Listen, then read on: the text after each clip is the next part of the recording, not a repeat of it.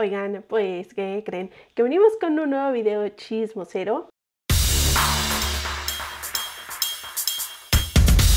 Y como pudiste ya verlo y notarlo en la miniatura y en la descripción de este video, a Miku ya le dieron anillo de compromiso, ya anda planeando boda y ya estuvo compartiendo varias cosas por medio de su Facebook. Sí, por un en vivo de Facebook.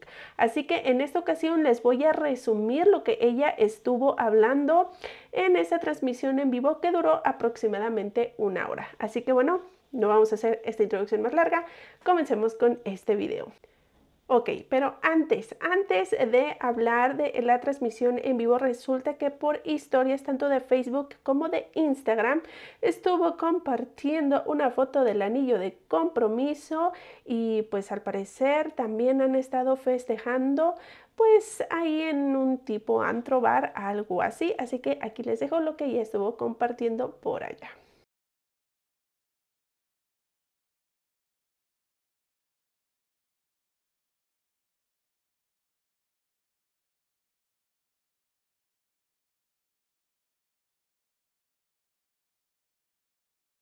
Ahora sí, pasando a esta transmisión en vivo, pues ella obviamente estaba diciendo que tenía mucho trabajo, que estaban pasando muchas cosas, algunas nos, no las podía contar, otras no tanto, pero que por su sonrisa pudiéramos darnos cuenta tal vez de un poco de lo que estaba pasando, pero bueno, ya lo había compartido por historias, le habían dado anillo de compromiso. Súper ocupada, pero tengo muchas cosas que contarles unas muy intensas, unas muy fuertes que no les puedo contar, pero se pueden dar cuenta por mi sonrisa.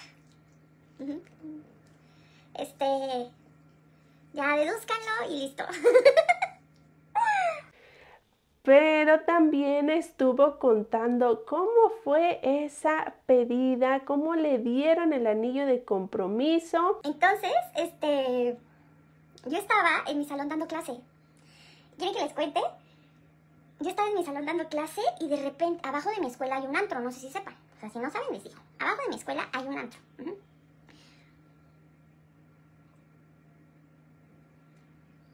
Abajo de mi escuela hay un antro. Entonces, este... Entonces, bueno, yo estaba eh, en mi escuela dando clase, normal, como siempre.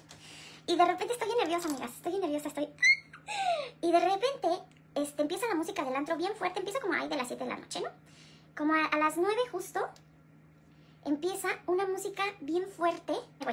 Y de repente empieza una música bien fuerte, amigas. Y yo dije, ¿qué pedo con el antro? O sea, ¿qué le pasa? ¿Por qué está poniendo esa música? O sea, nada que ver. Era... ¿Guardarás el like? Sí. Entonces, era música bien rara. Como bien fuerte. Así. Y yo de... Y de repente veo una chica, bueno, o sea, antes de que empezara esa música, una chica se acercó al conector, una alumna, y entonces yo pensé que ella estaba poniendo la música, porque dije, es que el antro no puede poner esa música. Y dije, es la alumna que está probando una bocina. Y dije, pero qué raro que esté probando bocinas en el salón. O sea, imagínense, eso fue lo que yo pensé. Y, de y ya, me seguí así, viendo las fotos de mis alumnas, y de repente Cali, que es la maestra, entra y me dice, es para ti. Y yo le dije, ¿qué? No, no es cierto, no es cierto. Y me dice, es para ti. Y pongo más atención era mariachi. Era un mariachi. y yo así como, ¿cómo crees? Y que le digo, no, no, no, no, no, no, no. Y me dice, sí. Y le digo, no, no. Y me dice, sí, sí, salte. Y yo no me quería salir. Y yo, no, no, no, no. Y agarro y me paro, me voy a salir. Y le digo, ¿sabes qué? No. Y me regreso y me voy a sentar. Y que me dice, ¿qué es para ti? Salte. Y yo de, ¿qué? Agarro, me salgo, me asomo por las escaleras y veo al mariachi pero no veían a la persona. Entonces yo dije, estas hijas de la están haciendo una broma y ahorita voy a empezar, ay, no, era broma y así, y, y no, o sea, no quería, ¿no? Y de repente me asomo más y lo veo a él con unas flores enormes, un ramo. ¿Se acuerdan cuando subí el ramo con una música? Ah, bueno, pues esa música fue la primera que empezó a cantar el mariachi, ¿no? Entonces, este, no lo podía creer, me bajé. O sea, había un montón de gente, la puerta estaba cerrada, este, había un montón de gente afuera tomando fotos. Y les digo porque había mucha gente afuera tomando fotos, porque son extranjeros. Ahí donde yo doy clase va muchísimo extranjero. Entonces, imagínense para los extranjeros ver eso del mariachi, una pedida, pues era como, wow, este, venimos a pasear a México y hasta nos llevamos estos recuerdos, ¿no? Pues estaban pasando pues estaban tomando fotos unos coreanos y yo así de... ¡ah! Aparte, enfrente de mi negocio hay una mezcalería experimental, que es donde va la gente como a preparar sus propios mezcales y va muchísimo extranjero. Entonces la chica, la chica del mezcal, pues vio todo y así y nos, nos sacó un mezcalote y nos hizo así como de... Y nosotros sí, o sea, nos regaló pues un mezcalito, ¿no?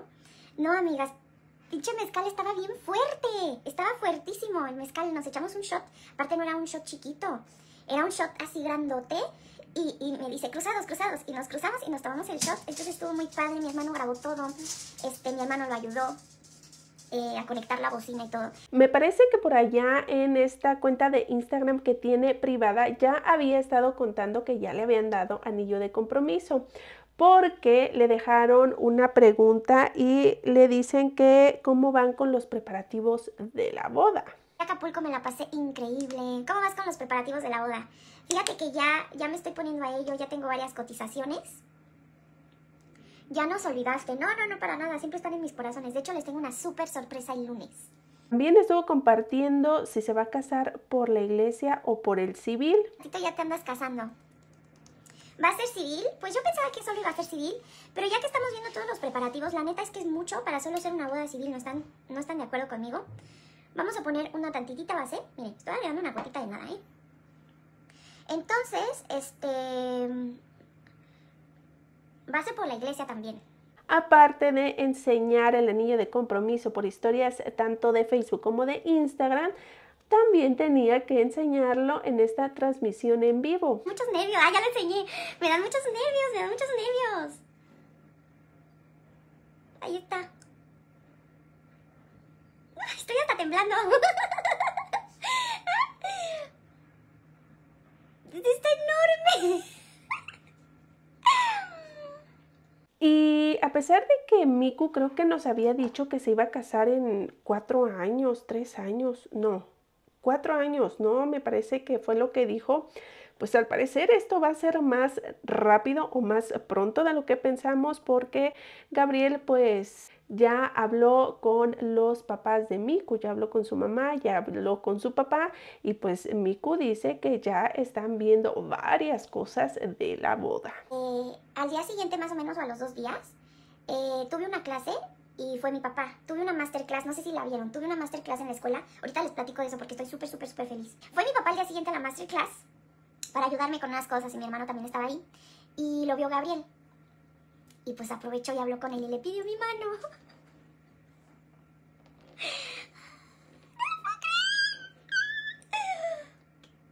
Y mi papá le dijo, no, este, ¿cómo crees? Este, Vale ya está grande, o sea, ya toma sus propias decisiones. Y Gabriel, no, yo lo hago por respeto. Y, y se abrazaron y mi papá, este, le dijo obviamente que sí y muchas cosas que no les puedo platicar más a fondo.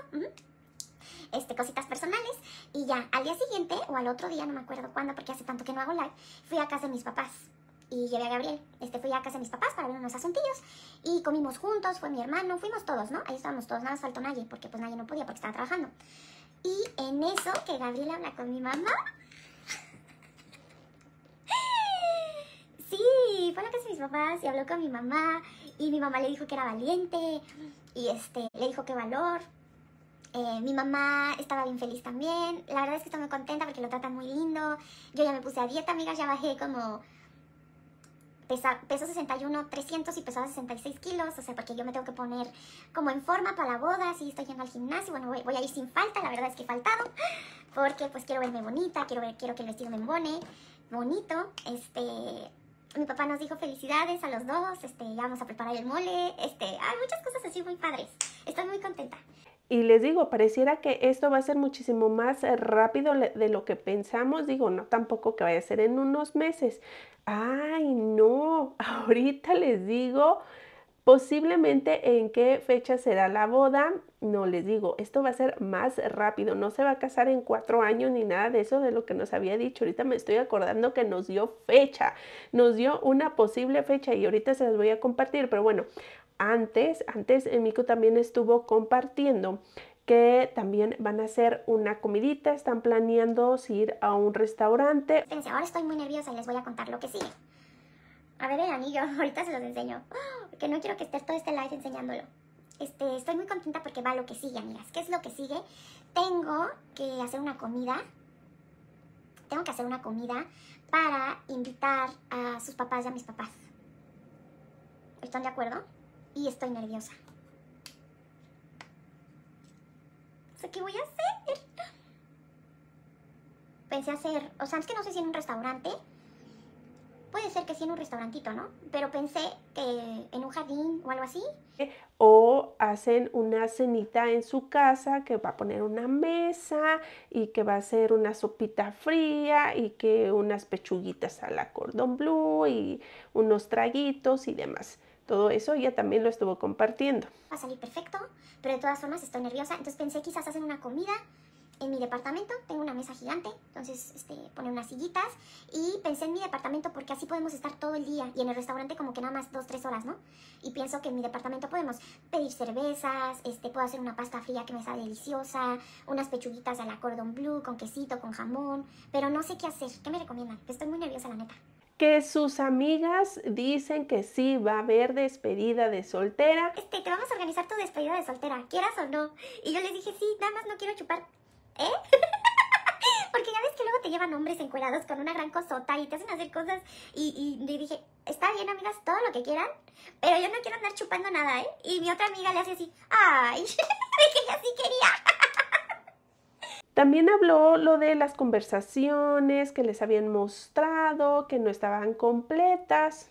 Les dejo ese fragmento. Bien, este, de eso de que, de eso que están diciendo de mi baby, o sea, todas las conversaciones que les enseñaron son, no son las conversaciones completas, son conversaciones a favor de una idea. O sea, si les enseñaran todas las conversaciones súper completísimas, que no lo voy a hacer, porque, ¿cómo se puede decir?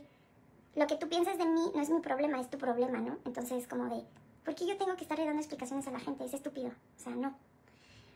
Pero pues, falta todo, todo tu montón de historia detrás, ¿no? O sea, solamente es un pedacito. Y la gente como muy rega, pues va a ay, ese pedacito y ya. O sea, pero falta un montón de cosas. Ahora sí, les voy a decir la fecha que dijo Miku que le gustaría casarse y posiblemente pueda ser por esa fecha. Ella dijo que sería en el mes de diciembre, un día 7, o sea, 7 de diciembre. Eh, no dijo de qué año, pero pues digo, tienen seis meses, seis meses en las cuales si uno se apura, sí se puede planear una boda. Entonces, posiblemente sea en este año en el que se casa posiblemente no lo puedo confirmar porque ya no dijo sí, en diciembre de este año me caso, simplemente dio esa fecha y así como dio esa fecha, pues posiblemente la pudiera cambiar, pero bueno, es lo que ella nos estuvo contando. Ahora también dice que eh, estaban planeando o estaban viendo una boda para 50 personas pero que se dieron cuenta que había muy poca diferencia en cuanto al gasto y en cuanto a dinerito, si es para 50 personas o si es para 120 personas. Entonces, andan viendo, andan viendo si son para 50 personas o para 120 personas. Pero Miku pues ya va adelantada, ¿eh? ya va adelantada con los preparativos de la boda, como que ya tiene detallitos aquí y allá, porque nos revela que su hermano será el padrino de las arras, estas moneditas que se dan este, cuando mm, se hace la ceremonia por la iglesia. Su hermana será madrina de lazo que su boda será en color dorado, que sus damas también irán de este color.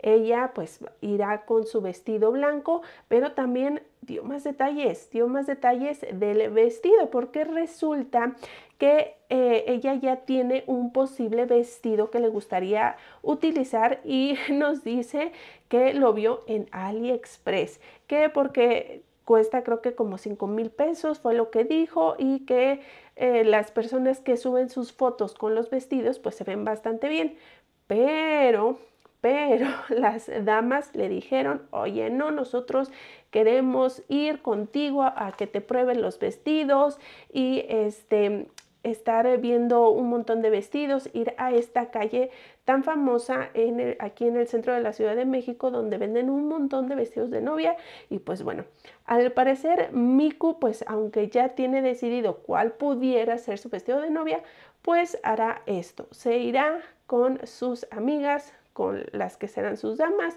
a ver vestidos de novia. Ya estoy viendo mi vestido. Este, mis damas, las niñas que van a ser mis damas, me están diciendo, güey, es que no puedes comprarte el vestido así ya. Porque yo de, ya me voy a comprar el vestido. Y me dice, no te puedes comprar así el vestido. Nosotras como damas, como tus amigas, necesitamos verte, probarte muchos vestidos. También dice que le gustaría que las invitaciones sean digitales, aunque dijo que pues también pudiera ser unas en físico y entregarlas y las pudiera eh, tener como recuerdo, pero bueno, eh, eh, al principio dijo que había pensado que fueran digitales y que también está viendo la posibilidad de casarse en Cuernavaca pudiera ser una opción, aunque eso como que todavía no lo decide. También para casarse por la iglesia, al parecer a Miku le faltan algunas cosillas por ahí. Me parece que dijo que la confirmación no la tenía, entonces tenía que hacer este proceso. Y por el lado de Gabriel, pues él sí tiene tiene todos los requisitos que piden para poder eh, casarse por la iglesia. Le preguntan a Miku si se casará por bienes separados o por bienes mancomunados. Creo que se dice mancomunados, ¿no? Bueno, serán por bienes separados. También ella cuenta que piensa hacer lo siguiente. No recuerdo cuál fue la pregunta y por qué salió este tema, pero bueno, ella dice que eh, ella tiene como a las personas a las cuales va a invitar que le interesan que estén en su boda. Eh, y digamos, hay una de sus amigas. Ejemplo, ¿no? Una de sus amigas, ella está invitada a la boda, pero esa amiga de Miku le dice, oye, yo quiero invitar a un amigo. No, no quiero ir solita, quiero invitar a un amigo y entonces Miku le va a decir, ok, quieres invitar a tu amigo, está muy bien. Que esa amiga pague el boleto del amigo para que asista. O sea, Miku simplemente va a pagar los boletos de sus invitados, de las personas que le interesan que estén presentes en su boda, pero si uno de estos invitados quiere llevar a otra persona que no está en la lista de invitados de Miku, esas personas tendrían que pagar el costo del boleto para que pudieran asistir. Dice Miku que no sabe si esto está bien o está mal, pero pues eso es lo que posiblemente haría. Y por último también le estuvieron preguntando si van a estar invitados niños a su boda. Ella dice que sí, porque tiene a un sobrino y que pues ya saben, se han hecho como mucha polémica porque luego los papás no controlan a los niños y los niños andan corriendo cuando está el vals, cuando está algún momento especial y pasan algunos incidentes. Entonces, bueno, que ella dice que como que se ha sí, digamos que se han quejado muchas personas por estas cuestiones que pasan con los niños y ella dice que no, porque ella tiene un sobrinito al cual quiere mucho, entonces pues no, sí estarán invitados niños a su boda y este dice, bueno, les vamos a poner un jueguito o algo así, los niños van a estar tranquilamente allá jugando y no van a estar atravesándose o corriendo ahí en el salón de fiestas, ¿no?